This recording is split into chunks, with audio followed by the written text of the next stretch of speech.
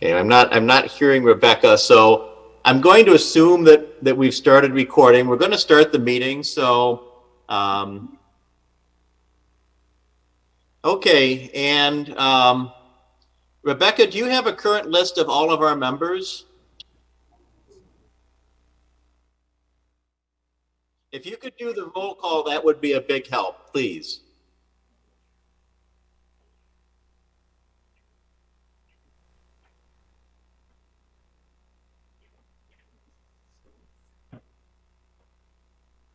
Here.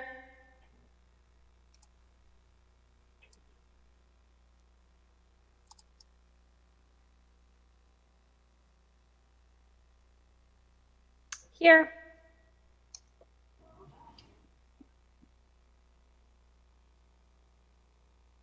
Here.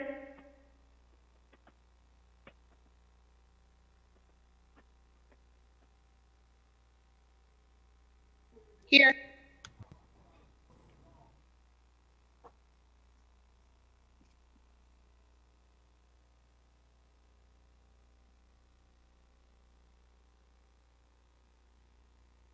Here. I'm here.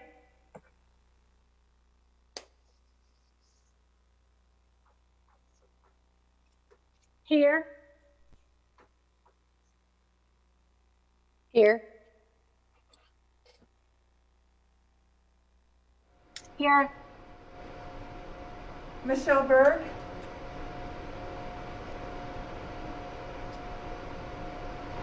I see you, Michelle, thank you. I'm here. I'm dealing with a naughty puppy outside. Mike Pizzani, Here. Monique Mo, Monique Mobley, Here I am, thank you. Naya Vang, Here. Pamela Potter, Here. Paul Whitley, Here. Gina Pagel, Here. Sam Kaufman, Here. Stephanie Chef, Chefchuk. Here. I know Tim Shell is here and Allison Voller. Here. Is there, is there anyone I missed?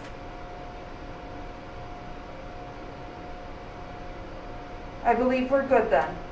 Okay, thank you so much, Rebecca.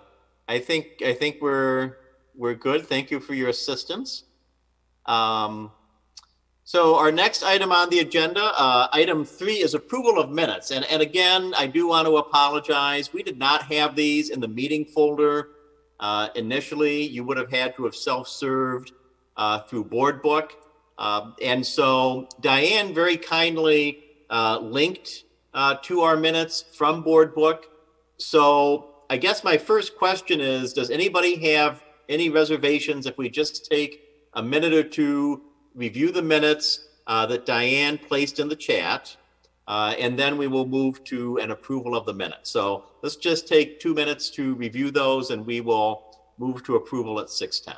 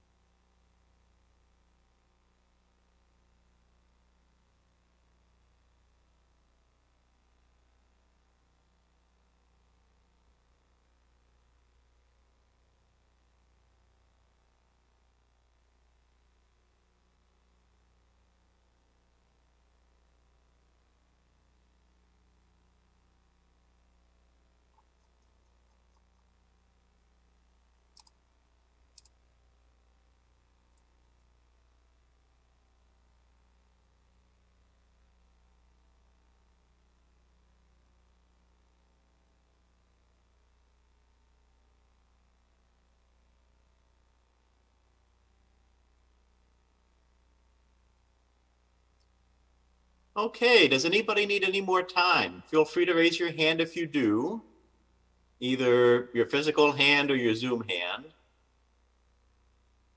And scanning my squares, I don't see any hands. So um, is there a motion to approve the minutes from the previous meeting?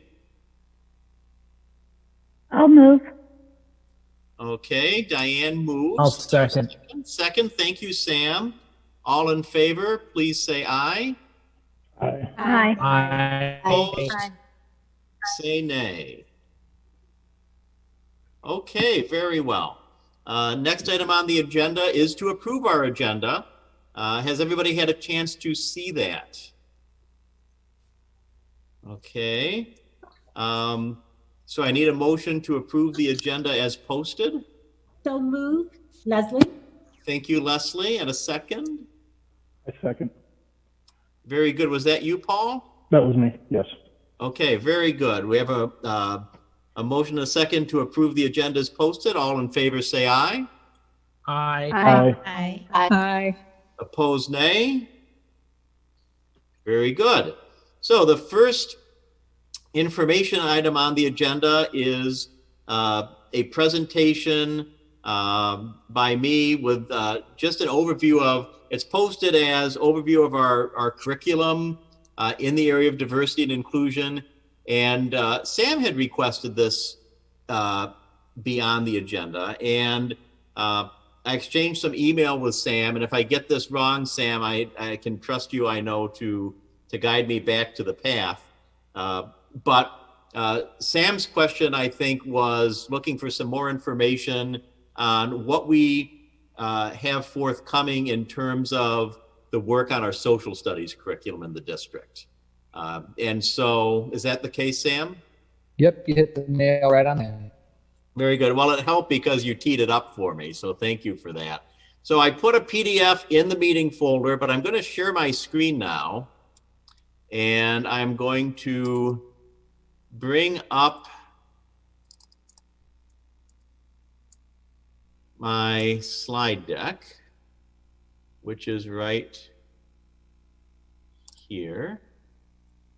And I'm going to go back to the top. And we'll just do a little presentation here. So again, uh, this amplifies what I had put in the meeting agenda last time, which was kind of a broader look uh, at kind of what we had done and where we were going. This is specifically on what we're calling the Nehemiah Partnership. And uh, this is one of a few major partnerships that we have in place this year. We're part of a county level equity consortium of schools. It's actually expanded beyond Dane County now. We have, uh, my understanding is 26 districts involved in the DCEC now. We have our work with the National Equity Project, uh, which is uh, mainly a staff, and we're getting some students onto this team as well. We have the Nehemiah Partnership, which uh, we're going to learn a little bit more in the next few minutes. And then we have an application into an organization called the Minority Student Achievement Network, or MSAN. And our application is in. Uh, their committee that reviews applications for the year is meeting next month. So hopefully, within the next four to six weeks, we hear uh, if we have been accepted into membership in MSAN. Uh, so these are some of the external partnerships we have going on this year.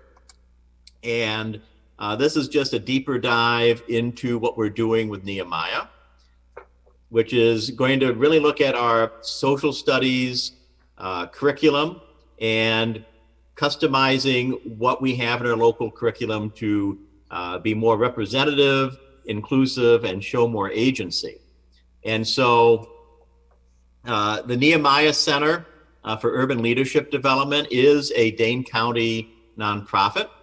Uh, they are involved in many uh, positive projects in the greater Madison community. One of the projects that Nehemiah sponsors is an evening course on African American history. Uh, and this is a course that's open to the community. It typically runs in the winter into early spring on Monday nights. It's a fairly significant evening time commitment. Uh, many people in Dane County have had the opportunity to take it. Uh, its its reputation is excellent. I have not had the chance to participate in it myself because it meets each Monday, and we have a lot of board meetings on Monday nights. Uh, but this last year, we did have one of our social studies teachers uh, participate in the course. She came away uh, with extremely positive reviews. And at the same time, I had an opportunity uh, to catch up with one of the Nehemiah uh, leaders uh, at a Dane County Equity Consortium meeting. And we talked about ways, I kind of lamented that because it was in the evening, we weren't always able to get teachers into it because of scheduling. And um, Harry Hawkins shared with me that they could work with school district partners to customize the work and bring it into the school district. And so that led to a series of conversations over the spring uh, and eventually to a proposal, which you know we'll look at in a little bit here, uh, that our board accepted over the summer, uh, which would be funded through uh, parts of our federal budget uh, that we have to allocate uh, towards reducing our gaps, reducing our disproportionalities. And so the goal is to create a district wide approach uh, to teaching an equitable version of American and world history. Uh, it is to impart our educators with tools to instruct, interact, and care for students of diverse backgrounds, and work with us on creating processes and systems to begin engaging social justice topics with staff, students, and parents. Uh, uh, the opportunity, Nehemiah has a lot of experience in this area. Uh, so the first part, we'll see this again later in the deck, are uh, a needs assessment. Uh, they will be working with a group of our educators over the course of the year. Uh, so that will uh, be a chance for us to have some important conversations about taking a broader lens to how we view history and also look at highlights and obstacles uh, in the area of achieving our district goals. And so, as part of the package that they have proposed and we've accepted, uh, there is professional development, uh, training specifically in the social studies area. Uh, there will be some study groups, and there is also going to be, on a virtual basis, access to a cross cultural coaching platform uh, that Nehemiah has rights to. Uh, so, again, you know, the rationale here, uh, there's really two rationales that are complementary for the project. The first is the why. And um, there is uh, a model for looking at multicultural education uh, from a thought leader named Banks, uh, and it, it contains multiple levels. And I think, you know, we do have some limited exceptions to it, but consistently, if you were to look at how we approach uh, our curriculum. We have a lot of uh, we have a lot of strengths to our curriculum in the district, but I think when we look at it from a multicultural perspective, uh, we pretty consistently uh, should self-assess ourselves in the lowest tier of the Banks model. It is definitely uh, a great opportunity for us to move forward as a district. And when we've had feedback from our students over the years, whether it's been um, on surveys, whether it's been linkage meetings with the Board of Education, times I've gone in to meet with the Justice League or the Black Student Union, uh, two things that have often come up are the need to look at our courses, and in particular, social studies, both to uh, modernize and make more inclusive the United States and world history all students get as part of our American history courses and our world history courses and the courses in elementary, intermediate, middle school that lead into that but also down the road potentially some elective courses as well. So that's that's the demand side for this. And what Nehemiah supplies to us is uh, an external partner who has a lot of experience and expertise in this area. Uh, they're already running this African American course, which is very well regarded, and they're a local external partner. They're they're based here in Dane County, so uh, we feel this is a real need, and we feel Nehemiah is a great partner for us in this work. So, what's the project approach?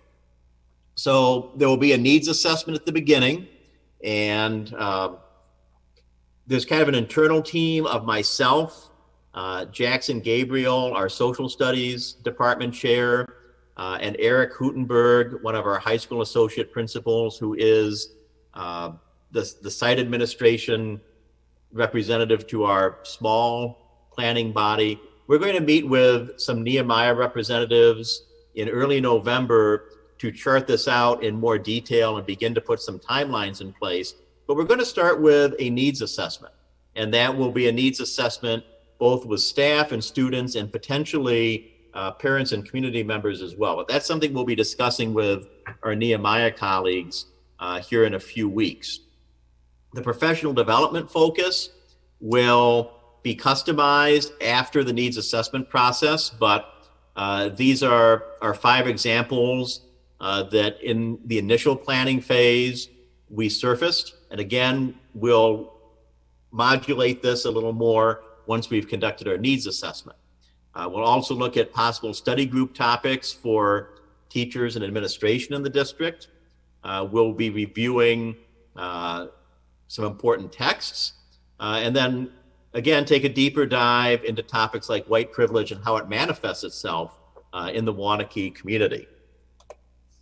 So, timeline um, one of the reasons why, uh, one of the big things we have to talk about when we meet with Nehemiah in two weeks is what is the timeline? Because um, when we were doing our planning in the spring, we knew we had a lot of uncertainty about how much of this work could occur in person, which I think would be everybody's preferred format for the work, and how much of this might have to happen through video conferencing or other means, which is uh, the current reality for so many of us in different parts of our life. Uh, and here we are a few months later, and that uncertainty is still with us. So we're going to have to make some decisions based on our current reality about how much of this will be in person, if any, and how much of this will be delivered virtually. Uh, we anticipate the needs assessment process will take about one month. Then we will have uh, professional development sessions, uh, and we'll be working on uh, a release schedule for teachers. Uh, I think we have, from a calendar standpoint, a lot of flexibility in how we release staff for this work this year. The one thing we are going to have to be sensitive to in developing our professional development schedule is that uh, this is not a normal year for our teachers. Uh, everything is more than a little bit new for them. Uh, you know, to a person, and I know we have you know some teachers in our group. Uh, a common refrain I hear is that even from our uh, some of our veteran teachers, they feel just like they're a new teacher again, and they're just trying to keep up. So we have a lot of flexibility, but in terms of how close we pack these together, we're going to have to have some conversations with the teachers we intend to involve in this about how quickly we want to pace it out given everything they're working with with instructing in the new environment and their increased planning needs uh, we'll also have aside from the pd we'll have some study groups that nehemiah will be facilitating and we'll be looking to get those up and running as well and uh, that's kind of the overall timeline and components for the nehemiah project uh, I just kind of want to bring this uh, back to where we started. This is not the only thing we have going on in the diversity, equity, and inclusion space in terms of existing projects. The administrative team is working with CESA 2 and the Wisconsin RTI Center on our root cause analysis strategies uh, to better implement our disproportionality plan. Uh, we had Percy Brown, the uh, Director of Student Achievement and Equity for the Middleton Cross Plains District, come in to work with our teachers in August the last two years. Uh, and we may continue to engage Percy uh, and other uh, resources in this area. We continue to work with our student affinity groups and you know doing our best to elevate and honor the student voice in this work. Uh, the district will continue to participate in the Dane County Equity Consortium, uh, we have ongoing local professional development workshops. Uh, we are working on curriculum and instructional materials renewal. I think this Nehemiah project is going to be an important major building block in that. And it won't be solely focused on uh, on the African American experience in world and United States history. Uh, it'll be broader than that, but by the same token, in talking with Madison Metropolitan and Verona in particular, there may be some other resources uh, that we can draw upon to kind of build on this initial start, you know, with Nehemiah. And then, of course, we have this committee uh, that the board has constituted. So that's kind of uh, what I pulled together in response to Sam's question. I'm going to stop sharing my screen and open it up for Q&A. And I guess, you know, I'm going to start with a question to Sam. Uh, does that kind of hit the topics that you have questions about, Sam? Yeah, it did. Yeah.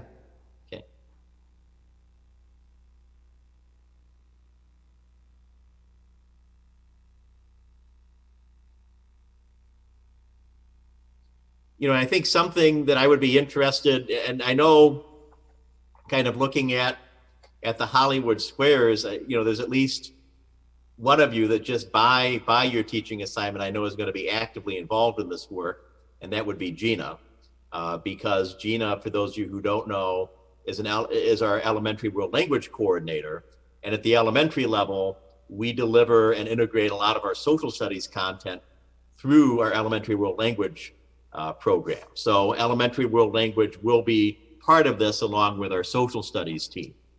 Uh, but I mean, this is certainly something where as we go through this over the life of the project and the life of this committee, if you want updates on this from time to time, that's certainly something uh, we could accommodate. I don't think, given the pace of the work, a an update every time we meet is really um, going to provide a lot of news. But perhaps every two or three times we meet, uh, Gina and I could update you on our progress. Any any questions or reactions to what you've seen? Melissa, I see your hand up. Yes, I'm sorry. I the reactions, I don't really have a hand. I just have like a clapping button. I'm usually not, you know, I don't I don't understand the reactions as well as I receive them, I guess. Um my wondering is um about the elementary. Um the curriculum, like the literacy curriculum, and how long that's been there, um, what is going on, um, like with the root cause analysis. Is it starting in the elementary level and kind of um, is it is it looking at the curriculum or is it just looking at like the you know intervention materials? That's that's a great question, Melissa, and I would say we keep working on our on our root cause analysis and our disproportionality plan and thinking about who's in here.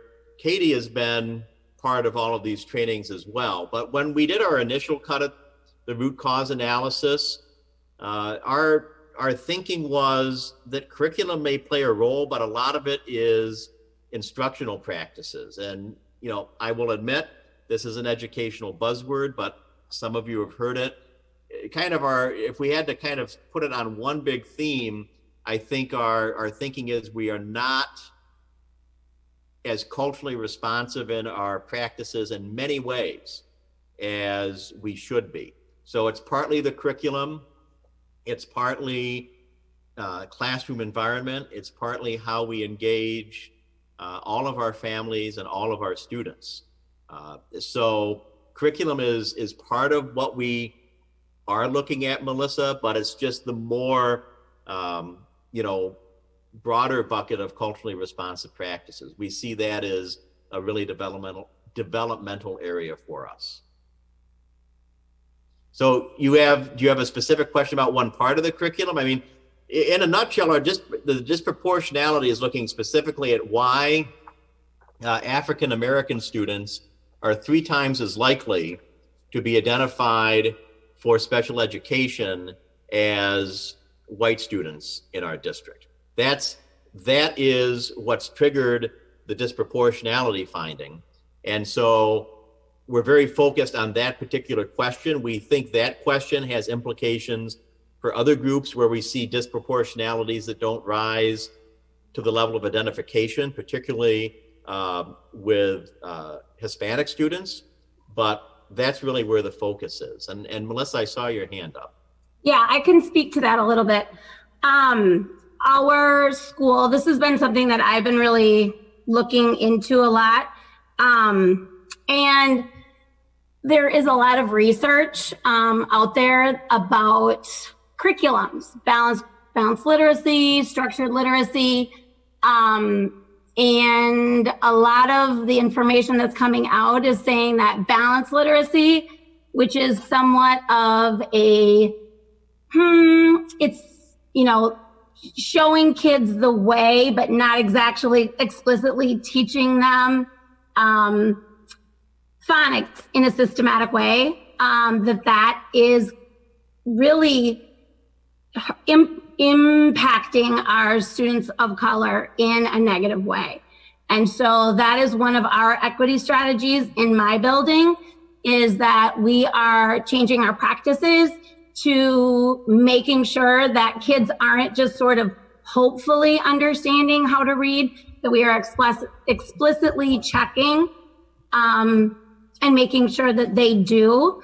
Um, they, the CESA just came out with a um, about foundational skills. It's called the first, and it's a way that you can sort of look through your curriculum and make sure that it is hitting those important pieces. Um, I mean, there's I don't know, there's a lot of there's a lot of new information out there about how to teach reading that a lot of a lot of schools really didn't know about. A lot of teachers didn't know about it. Um, and another big piece, I I might be wrong, but I thought that um, you guys do use Lucy Calkins. She has recently come out and said her curriculum isn't covering everything that it needs to. And she's acknowledged that this is the case. So um, I don't know, just some things to think about. Well, I see five Zoom hands up, and one of them is Allison, who is a lit coach, an instructional coach for us at the elementary level. So, Allison, I'll let you go first, and then um, Leslie, Pam, Mel, and Christy. So, you're up, Allison. Okay. Um, thank you, Melissa, for bringing those things up because those are definitely things that are, um, I guess, in my world right now too, with things I've been listening to and watching. Um, I've been participating in the webinars through um, DPI about foundational skills. So I know, and we just had a coach call this past week with Amy Johnson, our curriculum director now for K6, and we're looking at the first tool, which is to take a look at our instructional practices with phonemic awareness and phonics we have Fountas and Pinnell, or yeah, Pinnell um, word study in phonics in K through three right now. Um, but I know we're looking, we were supposed to pilot different phonics materials last year in the spring, but with COVID, that was put on hold. Um, so it's definitely on our radar and knowing that we want something more systematic and explicit with the phonics piece. So I hope that helps. and we don't have Lucy Calkins. Um, we you most of our materials are from the Center for the Collaborative Classroom. So we have making meaning and being a writer for our writing curriculum. And the good thing with those, um, they're very purposeful with the mentor texts that are used. Um, just a variety of backgrounds and cultures are represented in the mentor text. And so that's a big piece too with that, the philosophy, philosophy of those programs. And also one other thing, I know all three elementary schools last year did work with their staffs to do kind of audits on their personal libraries in the classrooms to see the variety of texts that are available and to look at what we could do differently and add to our collections, kind of to represent the variety of backgrounds that we have in our classes. Thank you for all of that, Allison. And of course, you know, curricular review, what, what you had tonight as part of that slide deck was very targeted. And I know that's something that the board has said could be part of this going forward. So we might do a deeper dive in this later later down the road. Leslie, you're next, and then Pam. Okay, yes, I, am going to take a, I'm going to go in a different direction. But before I um, share what's on my mind, Tim. I do want to ask the effort that's being put forth with the Nehemiah organization, is that specifically and only for um, instructional? So the, the professional development and the study groups, I think, are intended to be primarily For instructional? uh, To help build, professional help build curriculum? Yes. To help build, Now, curriculum? now the study groups, I mean, if there's an interest in, in committee members participating in some of that, that certainly, you know, Nehemiah said they could be flexible with that. I think the needs Oh. assessment is going to be broader than just professional staff. Okay, so the reason why I asked, because I was a bit confused because you were talking about a needs assessment and then you're talking about, is it a needs assessment focused on curriculum or is it a needs assessment focused on the school district itself? And the reason why I ask is because um, if you're going to focus in on the curriculum, I, think that that's a very good start. But there is a bigger sort of concern that I would think that the school district would would have in mind and would understand, and that would be the institutional racism. It's really how systematically we we operate. It's you know how does this affect students socially? I realized, you know looking at the data was quite sobering the last time we met related to African American students. But one particular element of that is what type of what type of support or what type of socialization are students getting? These these black students are getting that they that would help them have a sense of confidence, that would help them have a sense of identity and belonging. What is it? And it's not just going to happen through an organization or through a group. So it goes beyond just the curriculum itself. What type of hiring practices are in place that will that will create an environment where black students can see more black teachers or administrators that they can have someone that they can relate to. So that's why I'm asking are these efforts specifically towards create you know adapting and adjusting curriculum or are we looking at this on a much more holistic basis that will also include the curriculum as well as the policies, as well as the operations, as well as socializations within that. And I know that I kind of laid a lot out there for you, but I see a lot of effort that's being put into place. And what I like to see is whatever that outcome is, changes and accountability is made. Thank you. So, so Leslie, I can't, I can't give you a final answer on that because there's, there's, we- we've got a broad outline of agreement on what the project's going to include, but I don't have all of the details. I don't see what Nehemiah is doing as being a substitute for the work of the committee or the audit that we have talked about and we have a subcommittee working on. Uh, however, in our initial planning discussions with Nehemiah, they have said that needs assessment and some of the work with um, our team is not be before we get to more narrowly technical issues of how do we have a more inclusive and representative curriculum in terms of resources and instructional targets and all of that there's a lot of work they feel needs to be engaged in on those structural issues before a team can really get into the more technical social studies issues. But i don't think it's going to be as encompassing as as what you talked about. That's that's beyond the scope of this so it's it's going to be a bit of a wider lens but it's not going to be the whole 360 i don't think. But i can let you know after we've had this initial meeting the, next planning meeting with them. Yes, and I also understand that Rome was not built in a day as well. But I want to it, make but it needs to get built I know, right? But I, I, I just want us to um, just be mindful of, you know, this beyond the curriculum, which is very important. Thank you. so pam you're next and then mel Uh, yeah, um, uh, my question kind of is very much related to what Leslie just brought up, and um, I think that the uh, um, our committee, as, as representatives of the community, have some other perspectives that might be missed um, if Nehemiah is only working with administrators and, and, and uh, administrators and teachers. And I'm wondering if our committee can, uh, could meet with them, could have some kind of uh, interaction with them. Um, the other question uh, builds on, on, on, Le- on Leslie's second point even more, and that is that um, Nehemiah Project is, is, is, the, is a very important place to start, but the systemic problems um, go beyond um, the, uh, the um, uh, African American understanding of African American history and embrace other aspects of American history that have led to uh, our problems of, of inclusion and exclusion um, that go beyond the African American experience. Um, so again, Rome wasn't built in a day, and I think this is an important place to start. But again, let's also be mindful of the other things that some of our kids are experiencing by feeling excluded for a variety of other reasons.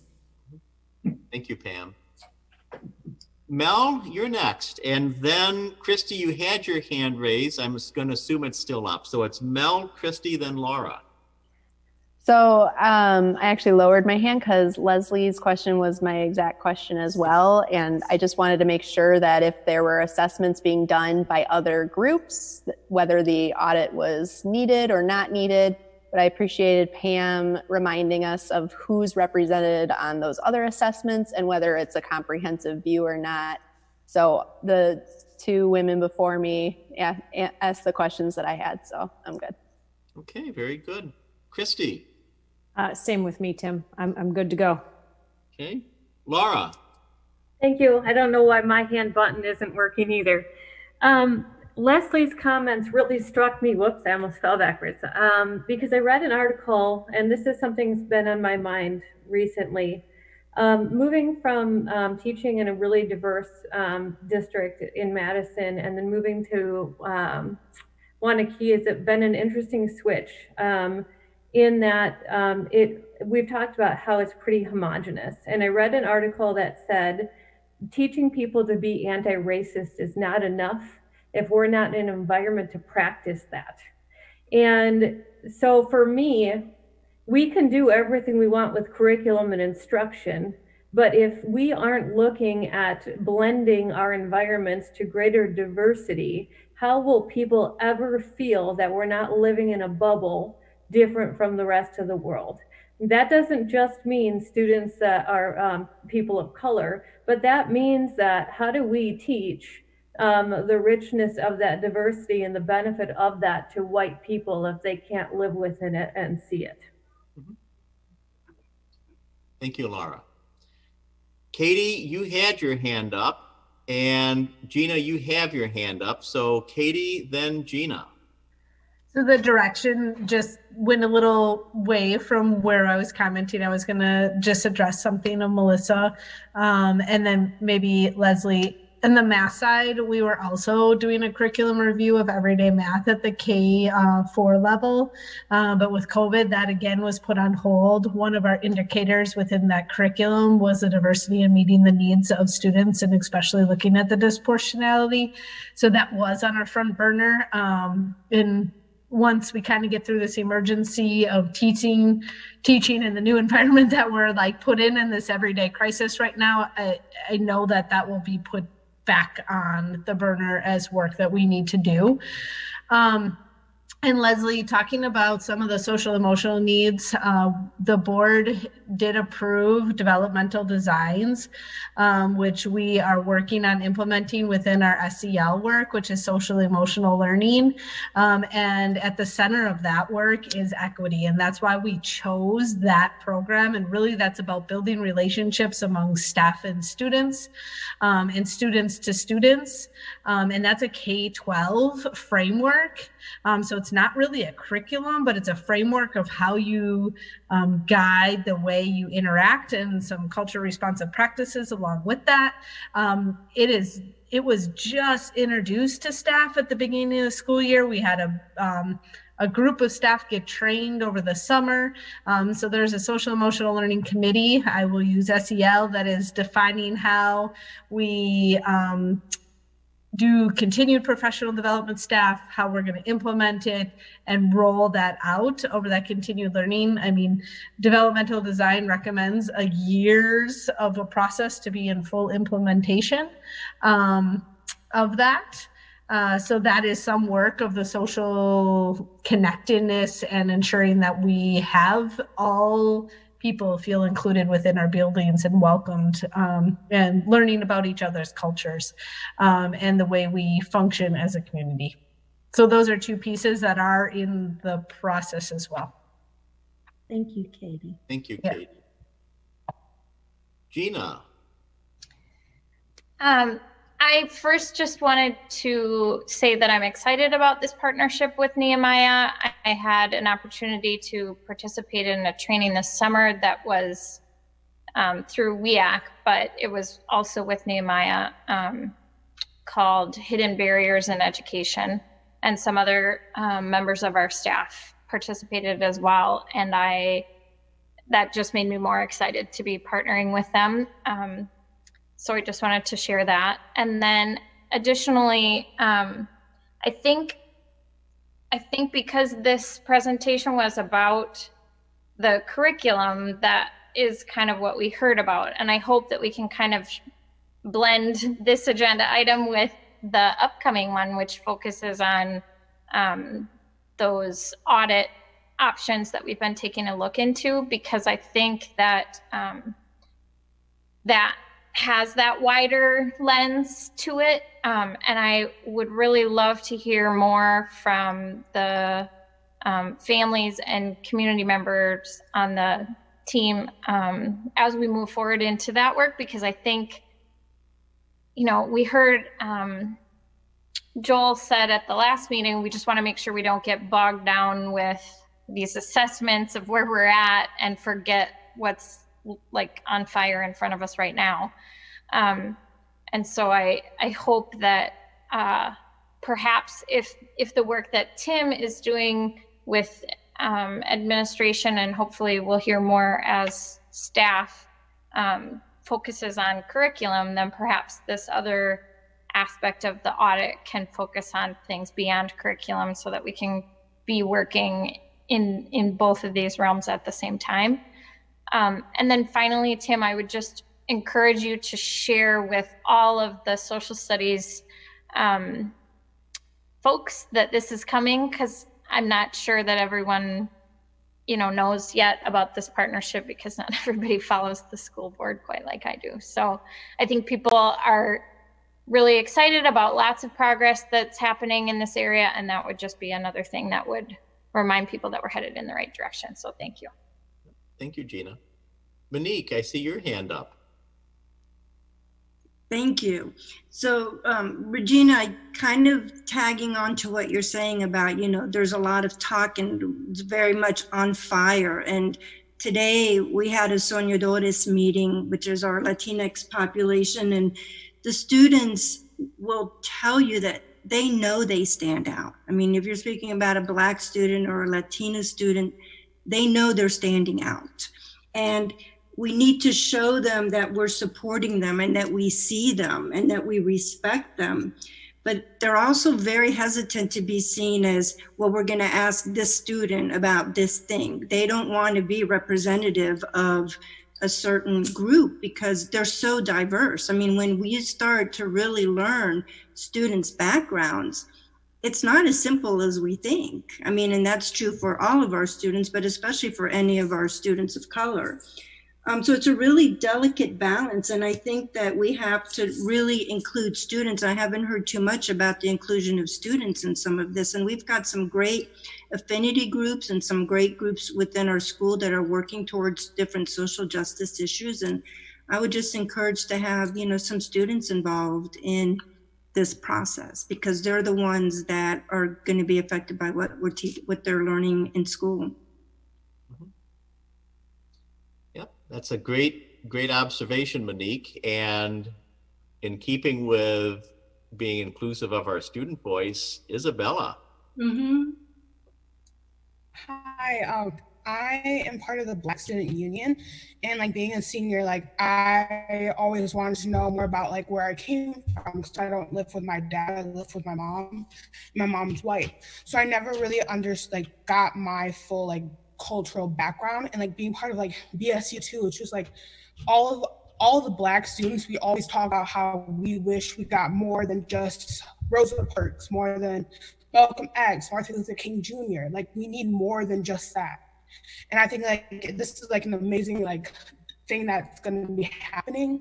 But I just that it like happened sooner. Again, like the whole like Rome thing. But I just wish that like I was able to like as like a kid, not just learn about um Martin Luther King Jr. or just like or having walking down like the whole like walking down the hallway and like coming out of BSU and everyone looks at you type vibe like I just feel like there's like so much that we can do too, and like I love like everything that we've been doing so far. So yeah. Thank you, Isabella. And, and we will be sure as part of that needs assessment process that Nehemiah is going to do uh, is, you know, we definitely will be including our students in that. I think the other thing, and I know that, um, you know, that Christy and Monique have been working on this, and I and I think Isabella, um, did Mr. Murphy bring up that we're looking for some student representatives to that National Equity Project team? Yeah, um, I think I'm gonna be part of that. I have to talk to him about that. Okay, that that'd be fabulous. So we we you know I think on the one hand we want to really engage our kids. I do think that as adults, we have to be sensitive to um, engaging our students at the center without over relying on our students to do the work that we as adults need to do. So, um, it, so I think I think that's always going to be our our balance, and I think involving this committee, I think, is a great step in this direction, involving more of uh, the adults in our community is is really important, and that's something we haven't done well as a district over the years on these topics. And um, hopefully, this is something that's going to lead us in a in a more inclusive direction.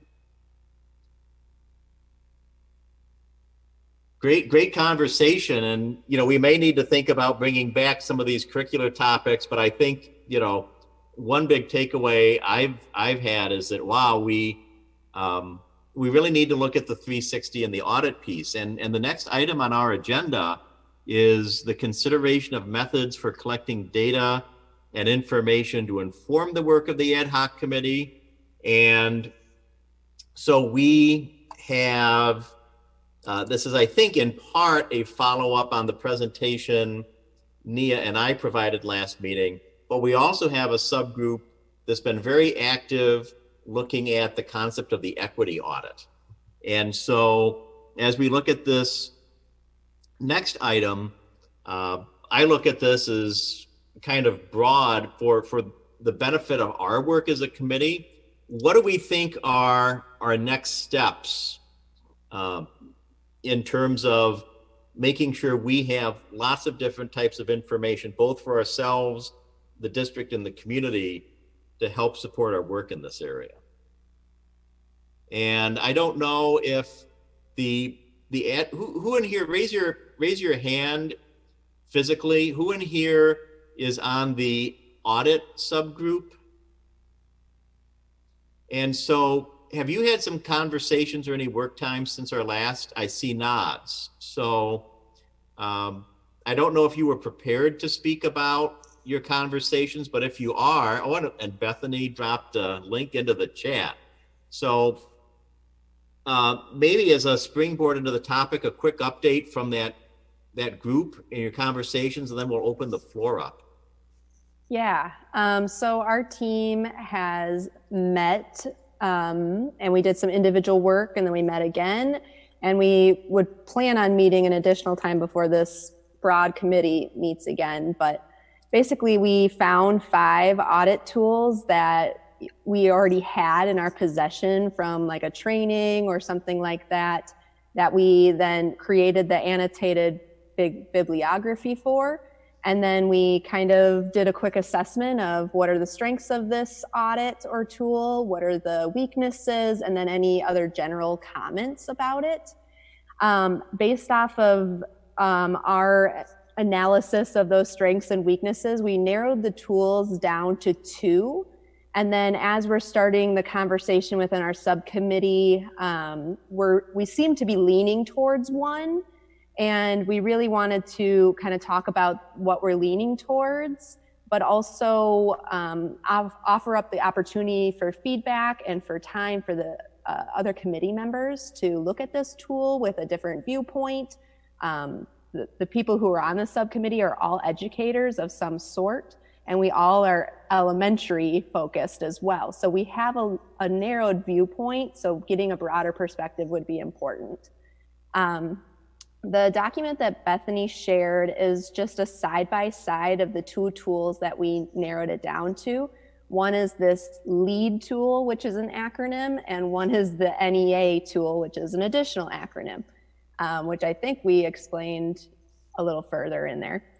Um, basically, both are like a rubric style um, measurement tool with some differences in their measurements. So, like the NEA has um, item by item where you rate on a continuum, and the continuum is a little bit more uh, flexible with some more gray areas versus the lead tool is a little bit more like looking at um, four different viewpoints, multiple points within each one before you rate yourself.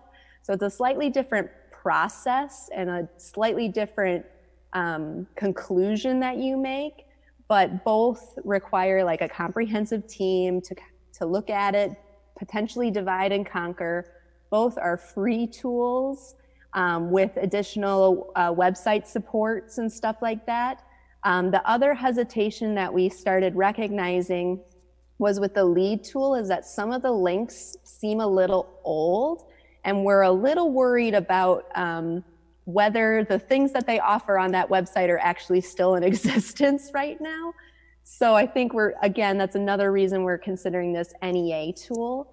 Um, as you're looking through the comparison, you'll see that the NEA tool really doesn't have a lot of weaknesses. The really the thing that we saw was that it could get lengthy, but the nice thing about it is there are seven components that you're rating, and then there's multiple factors under each component we could take on all seven or we could take on some of the seven. And so when I hear things like with Nehemiah looking at some curriculum instruction piece, well, maybe that would be one of the components we take out of this audit, knowing that it's going to be looked at in a different way. And then we can look at some of the other pieces.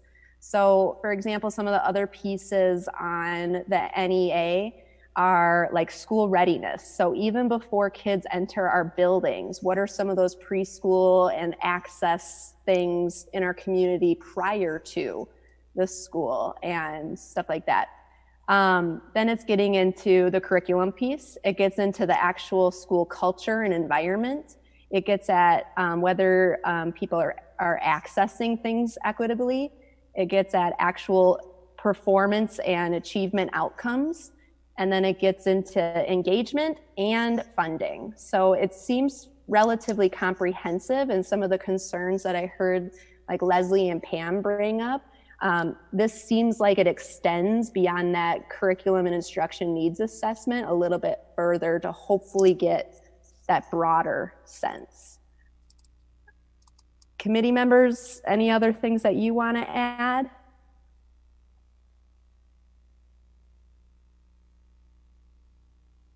No, thank you so much, Mel. Well, thank you very much for your work. Group, do we have questions or comments on what we've we've seen so far? I know we're just seeing this for the first time. Um, I don't think we're going to make a decision tonight on which of the two audit tools, but do we have any clarifying questions or reactions? I don't know how to read order, but I see that Pam's hand is up. Yeah, so we've got three hands. We have Diane and Christy and Pam. So I was thinking Pam, Diane, and Christy would be our order. And go ahead, Pam. Okay, um, thank you very much for all your work on this. This is really, really important and very much appreciated. Um, I'm just wondering, um, just looking at the NEA tool specifically, because that seems to be the one that's more reliable and stable. How customizable is it for really focusing on the issues that we're interested in, on equity and, and inclusion? Um, well, like I kind of said, there's seven components, and we could choose to do you know, any number of those components. So for example, if we wanted to park curriculum instruction, maybe we would focus on just the six components, or maybe there are two that we want to prioritize as a committee. Um, and then depending on time, we could get to the other ones. Um, and then the other benefit of this one with the customizableness is that, again, under those components, there's all these different prompts that you rate individually on a continuum. So even within the components, you know, if some of those things aren't applicable, we could kind of move forward and customize it more quickly.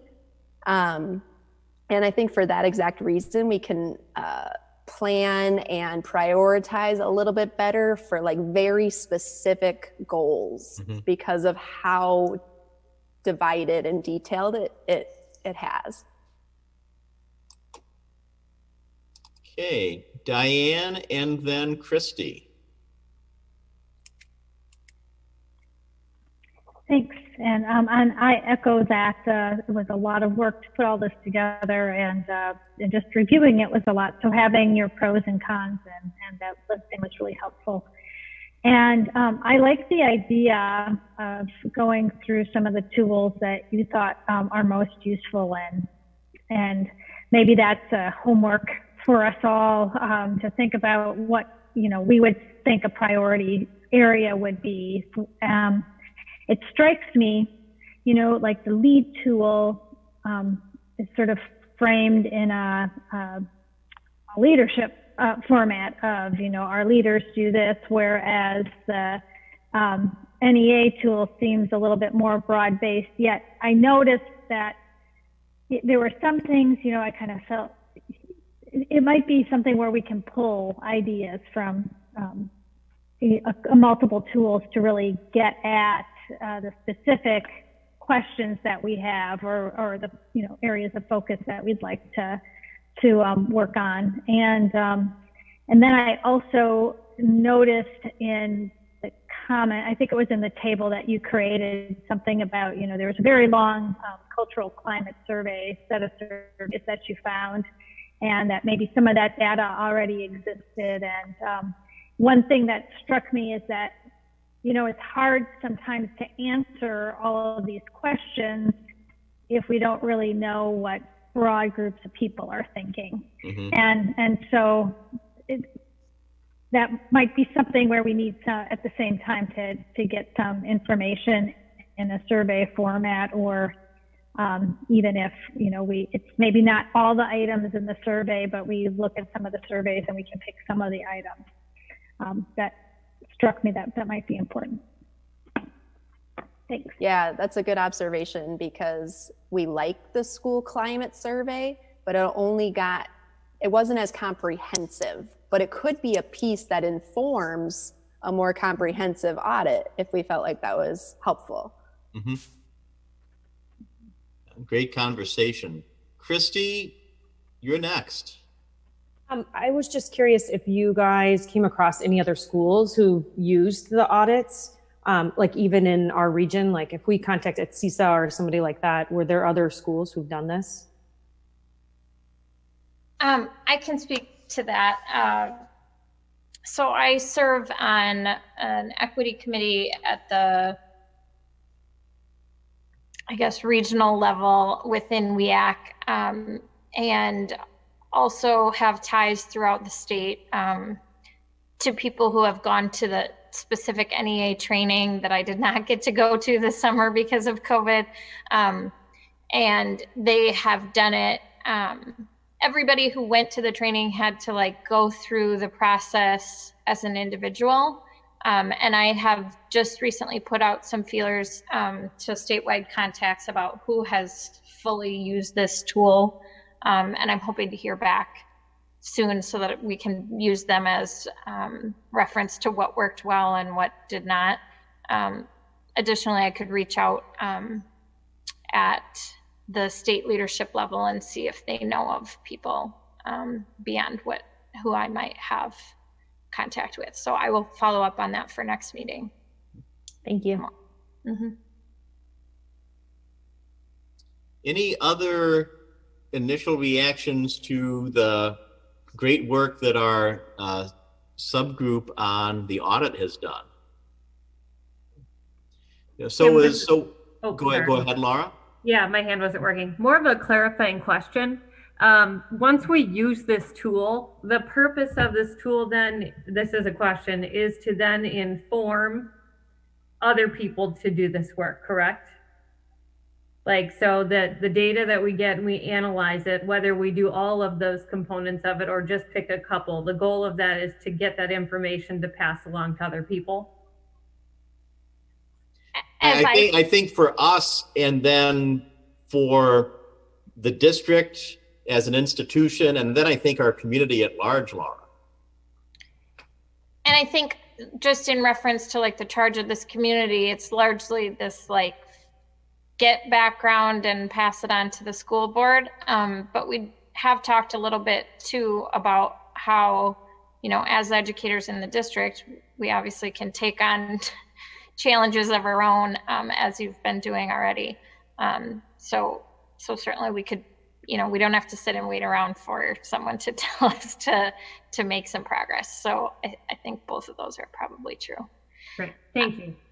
And page 19 of the of the PDF that's linked in there in there um, has like a, a next step next steps outline that um, gives some direction for that.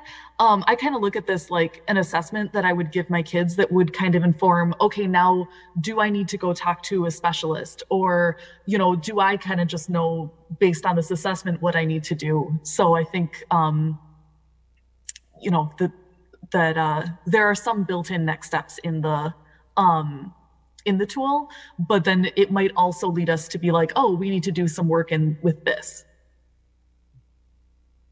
And you know, it was really helpful, Bethany, for you to put that document in the chat. But uh, for everybody, if you had not noticed this, uh, we have a folder on the equity audit, and this is called, I think, the the tool side by side or the audit side by side. So this is also in our shared folder. So when we do come away from our meeting tonight, if you want to go look at this on your pace in more depth, that's in our shared folder. And Leslie, I see your hand is up. Yes, uh, I'm sorry, I had technical issues, so I didn't even have a chance to open up the document. So I really can't comment on it. The little that I heard, I think is, is very interesting. So I will have to take a look at this. But who's on the committee again, the subcommittee again? I know I, I, I heard enough that it was all educators on the committee, on the subcommittee. Is that correct? Yeah, so it's myself, who's an elementary school psychologist. It's Gina, who's an elementary world language teacher. Bethany, who's a first grade teacher. And then it's Kathy Cattell, who's one of the elementary paraprofessionals for regular education. So and I guess I would just narrow- clarify that this subcommittee was to kind of just explore the tools. We certainly don't see ourselves as the people who will be running the audit. I hope Oh, yeah. that we have a larger, larger group involved in that process. Yeah, good point. Thank you, Gina. Okay, okay, all right. So, so this was just an exploratory group. Got it. Okay. Yeah, to kind of narrow down all the tools that exist that are called equity audits, I guess. Um, my imagining, perhaps, with some of the things I was reading about the NEA, is that they they do suggest to have a broad team that's comprehensive. You know, educators, students, um, different levels, and then community parent involvement, and then kind of divide and conquer. So I was in my head thinking, well, maybe we would have, you know, subcommittees take on different components, and then within each subcommittee, we, you know, we have a student rep, we have a parent or community rep, we have an educator, elementary or primary, and we have an educator secondary, something like that. Or we could do it all together as well. And if anybody else would like to join us as we kind of deep dive and make sure that this is the tool that we want to really recommend and um, suggest that we move forward with, um, please feel free to, free to join us. We have delightful meetings. So, so my, my suggestion would be that you all have done some very nice work with, with, first of all, doing the investigation, and the side-by-side tool. It's probably great homework for all of us to look at that before the next meeting. But when you have your next meeting come up, if you could maybe email the group uh, just to make us aware, so anybody who had an interest and could drop in, that might be a suggestion I would make. And Mike, I see your hand up, and Gina, I see yours. So we'll go to Mike and then Gina. And mine was just that I'd be very interested in helping with that equity audit group if there was any desire for additional folks. Uh, downside is I bring an elementary perspective because I'm an elementary principal in another district, so don't help a ton there, but have a little bit of community perspective as well. Thank you, Mike. Gina. Um, yeah, I was like, do I raise my hand? I don't. So this is a question for you, Tim, and not in my like capacity of presenting as a committee member. Um, I was wondering if you might broach the topic with Nehemiah about um, their interest or ability or contacts of who might be willing to help guide us. Um, one of the things that we came up with in our discussions um, was about like what kind of resources come with it and what kind of um, the process looks like. And one of the things we discussed quite a bit was the need to not bias our our work just from the inside.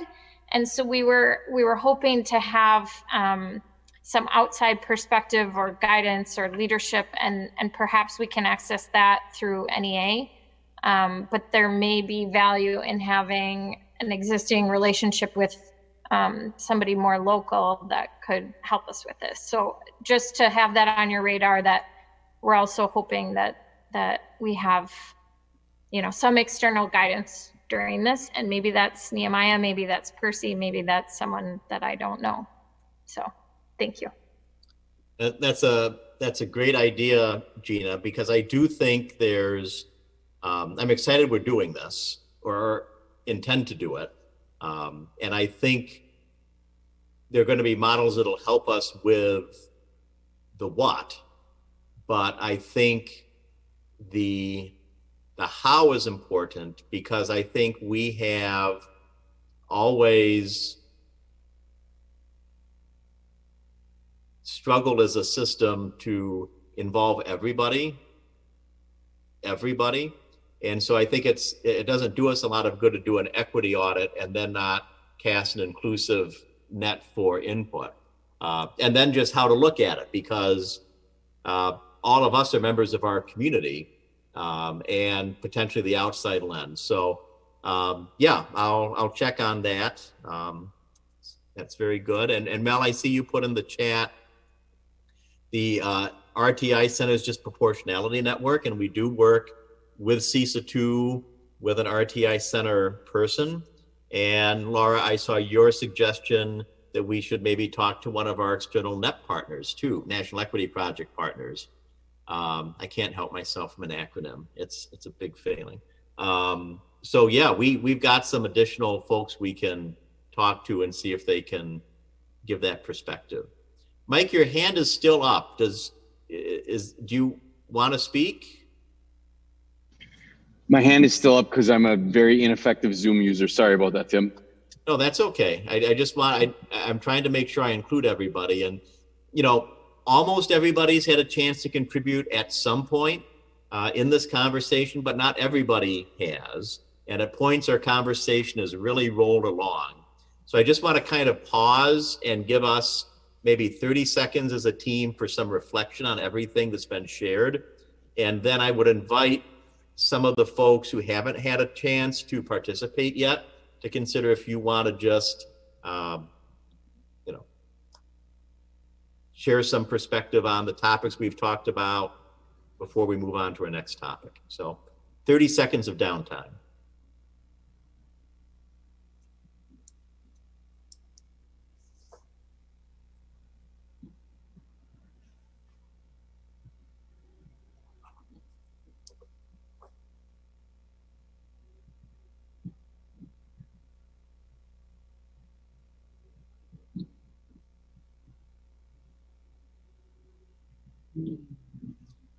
Okay, I think that's close to a 30 second pause. Um, so is there anybody else who, while we're uh, on the topic of kind of the audit and the data gathering, who wants to ask a question, share some perspectives, bring up a request for the immediate future? Nia, I see your hand. Yes, so I've been listening in. Um, I haven't had much to say, but I um, wanted to just say one, I really appreciate the work that's been done for just the first round of analysis for um, the audit, and then also your um, presentation, Tim, again, reiterating uh, the issues that we have here in Waunakee. I, um, because I left a little earlier last meeting, I um, am again a little curious. So the team has decided to go ahead and do an audit of the Waunakee schools. It's just background for myself. I'm assuming we're going to send these out to the individual schools and get an idea of where people are at. And I want to make sure I understood that.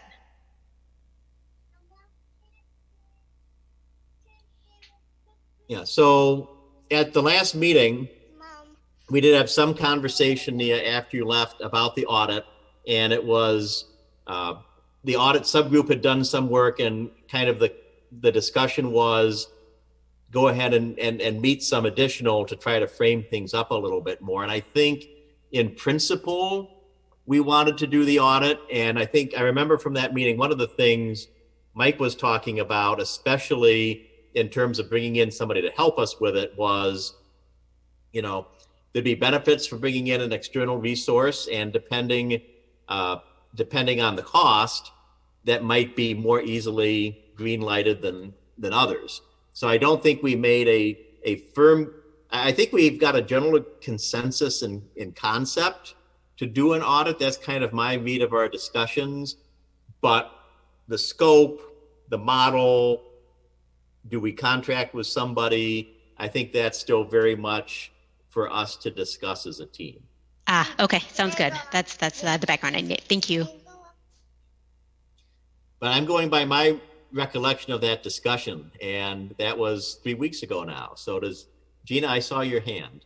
Yeah, I was just gonna. Um, I, I think that does represent kind of where we're at, and and no, nothing has been um, determined. Even that we're doing an audit, this was still just kind of exploring our options. Um, but I do have a question about moving forward. So our our plan was to meet again to take a deeper look at this and ensure that the tool that we're leaning towards is the one that we would like to recommend. Um, can you speak at all to what the process would be? Would our committee then uh, vote to ask the school board to approve? Or do we have the ability to just move forward with this? Or can you do you know or can you speak to that at all? Yeah, so I can speak to that some. Uh, I am at a you know from from the seat in that I which I sit. Uh, the committee doesn't have an independent budget. So if we want to do something that requires resources, we're going to have to find a funding source. Now, um, depending on the dollar amount, uh, that may or may not need board approval. That kind of depends on uh, the sum involved. But this is also a, a, board committee and it's a high profile project for the board. So even if the, the sum was below what's a mandatory board approval, the board may still want to say in this.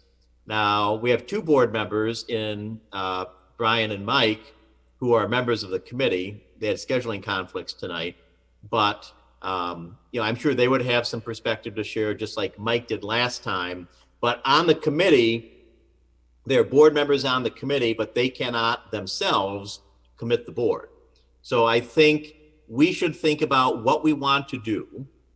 And my proposal to the group would be come up with a, a concept, and then we can have a conversation about what resources might be needed um, get Mike and Brian's temperature in particular about whether they think it'd be best to bring it to the board uh, before we move forward.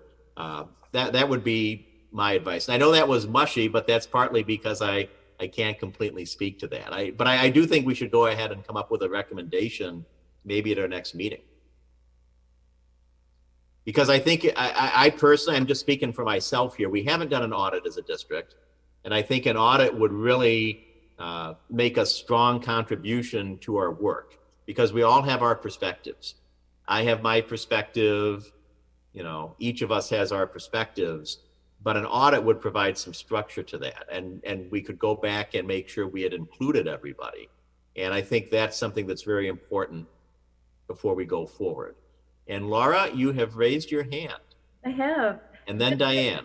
Yep, a question. Um, if we were to go the route of um, an external person to audit, does anybody on the board here have any experience or knowledge of people that do that?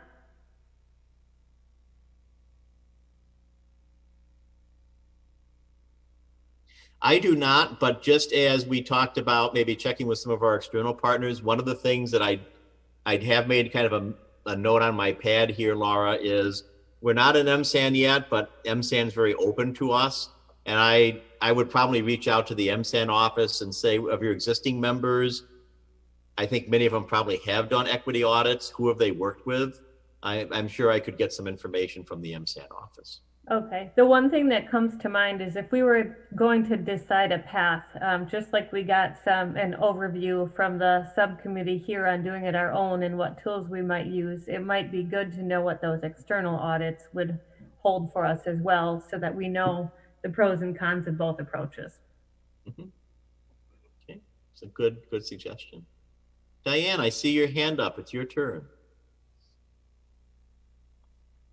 Thanks. Um, I, really agree with um, what you said, Tim, and I think it gets a bit to Leslie's comments that to really comprehensively address equity and inclusion and um, diversity, uh, this is really getting it at it from a, a few different angles.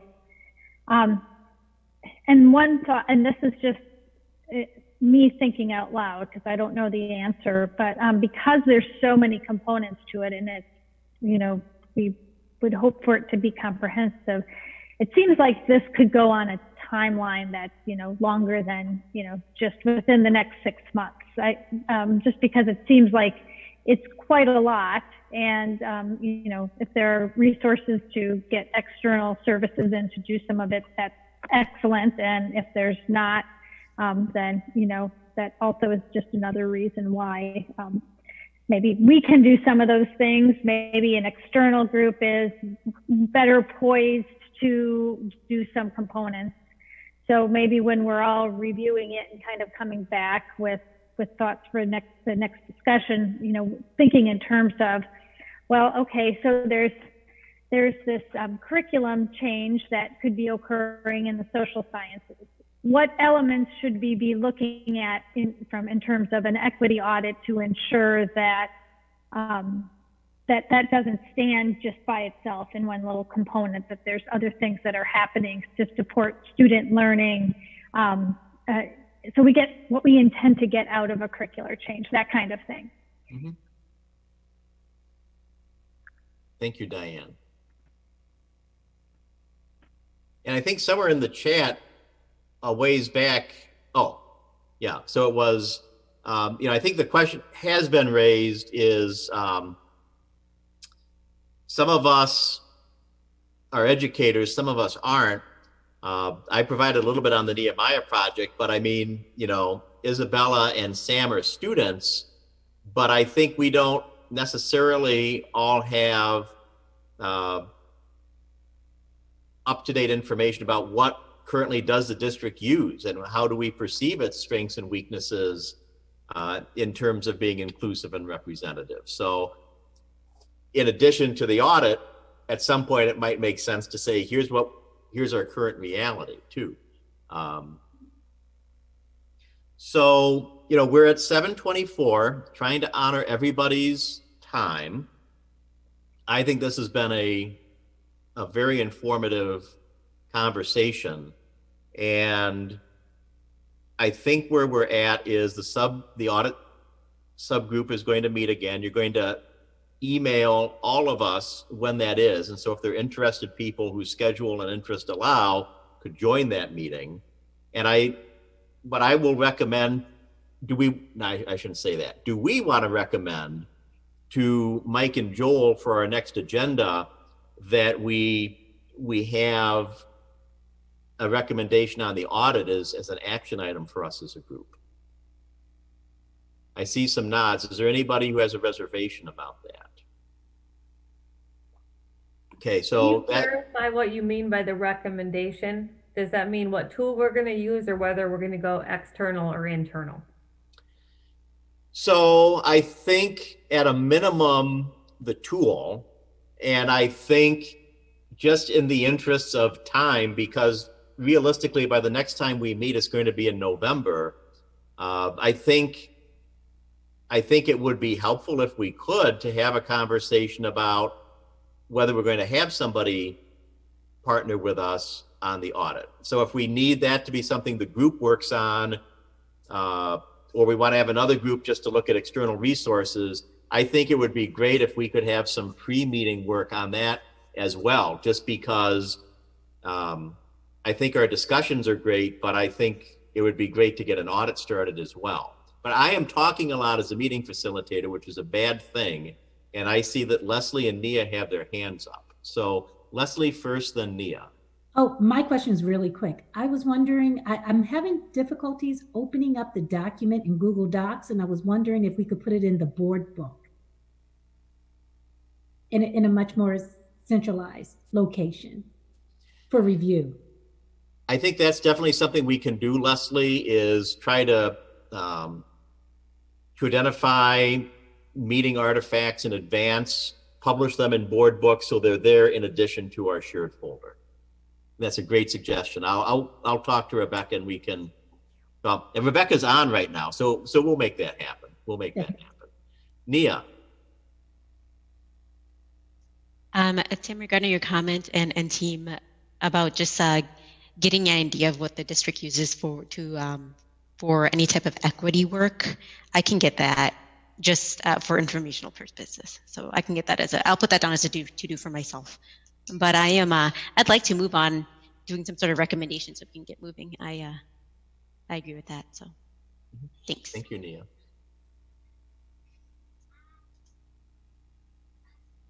Okay. Yeah, and and Diane says that she needed to download and save the documents. The double click only took her to the first page. So it may be a browser setting, but I think just as a matter of meeting organization, any any documents we want to review in the meeting, we really need to try as much as possible to have stage for board book in advance. So I'll I'll bring the. I, I'm sure Mike and Joel are going to watch the entire meeting, but I'll I'll make sure to connect with them both on that as well. So. okay.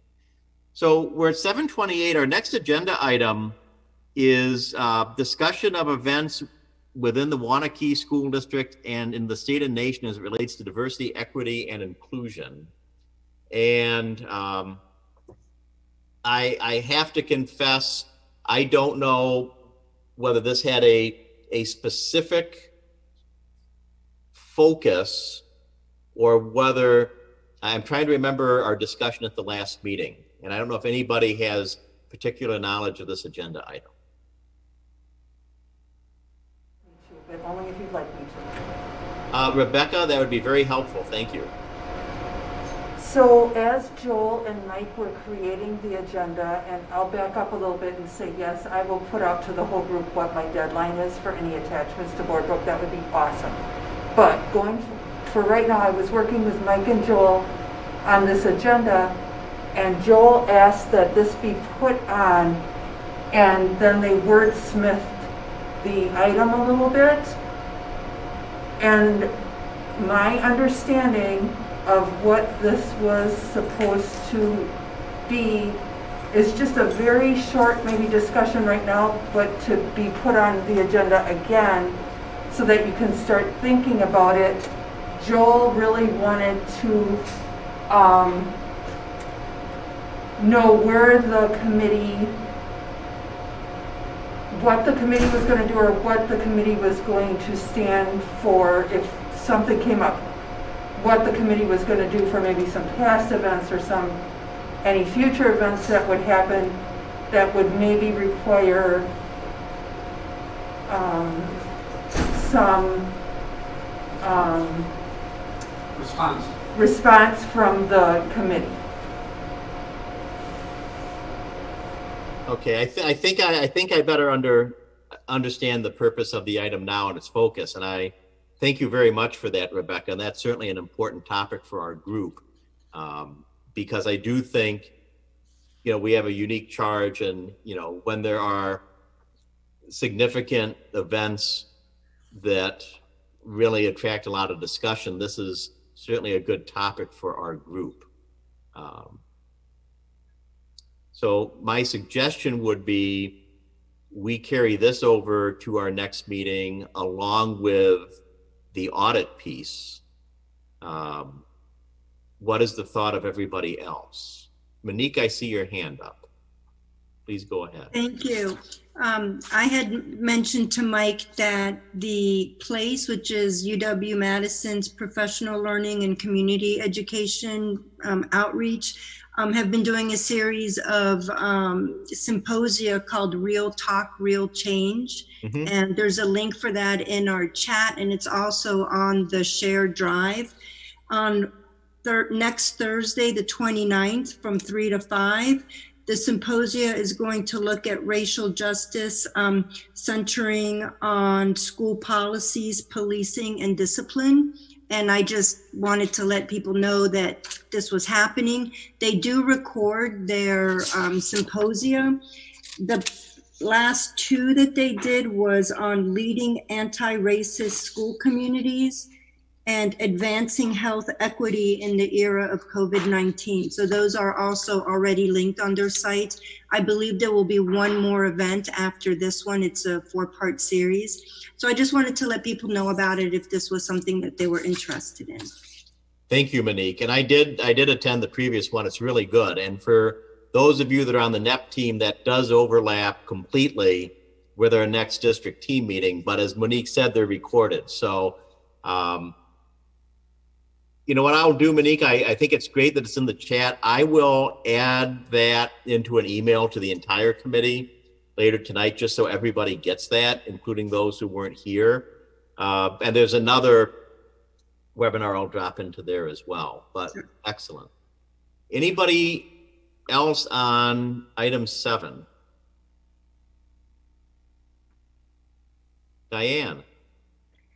Uh, yeah, um, I don't know if this is the right place or how many people are interested in. Um, some of you may know that there's sort of an informal group um, that kind of assembled on Facebook called Wanna Talk Diversity. Yes. And um, Joel and Mike, I, I think both are active in that, and um, and I have uh, been on some of the pieces too. And that group, in collaboration with um, WNC, uh, I think uh, she's engaged churches, and I believe uh, Cassandra Punsel is also engaging some schools, um, teachers, um, is organizing a peace walk on November 22nd, and it's uh, coordinated to align with um, the lighting of the Rotary lights, though it's uh, sort of uh, not religious, faith-based, although there's churches involved. Um, and so um, I, I thought I would just let the group know because I think maybe there has been some outreach to teachers, and so if if um, to work on some um, art projects and um, and it's intended to uh, be sort of a unifying kind of um, activity to bring people together and motivate people around positive messages of unity. So whatever it's worth, it um, it's something that will be apparent in the community and maybe it will be talked about. So it's I guess good for people to be aware. Yeah, it's a, it's a nice event. Thank you, Diane, for the reminder on that. Um, I know we've had some outreach to our student affinity groups about it. And now that I think the FAQ is up in the shared folder, some of the pieces like the Lantern Project will be getting out more broadly in the next few days. But yeah, it's it's coming up in November. It, it should be a very nice event in our community. Um, for future meetings, that is eight. So uh, just as a quick question, has the doodle poll scheduling been working well for us? I see happy faces and nods and thumbs up. So I think, uh, Rebecca, we will um, look in your direction for your assistance again, working with Joel and Mike to organize a doodle poll for our group. Is that something you can help us out with? Absolutely. Um, I'm not sure if I'll get it out before this fall break, so it might be early next week that I get it out. Unless you guys give me any signal that you want it out tomorrow right away. No, but if I could just add that we had talked um, early on about trying to have a more regularly scheduled time as well. So I just want to put that back on the table as it would be helpful for scheduling um, out more than two weeks. So, So one, I'll, I'll just make an observation. We did talk about that, Gina. It seems to me most or all of our meetings have fallen on Tuesdays so far. okay. At, at either, either the seven o'clock time or the six o'clock time, or, or six thirty, somewhere in that zone. So maybe in addition to scheduling the next meeting, we could have a second question on the doodle poll. Uh, or, or maybe just another place to chime in, how people would feel about a standing meeting on, you know, I guess one question would be once a month, every two weeks. We've been meeting, it seems like on an every three week basis. But maybe we could invite Joel and Mike to work with Rebecca and adding a question on that to go out with the next meeting doodle poll to kind of provide us with more of that future calendaring. So. Okay. That sounds like a good idea. yeah, any, thank you. A- Any other hands or comments? So with that, item nine on our agenda is adjournment. Uh, I would entertain a motion to adjourn. Monique, I motion, I propose we adjourn. Okay, I'll second that. okay, we have a motion and a second. All in favor, say aye. Aye. Opposed, say nay. We stand adjourned at seven thirty-seven. Thank you, everybody. Thank you. Thank you, everybody, for your hard work and openness and dialogue this evening.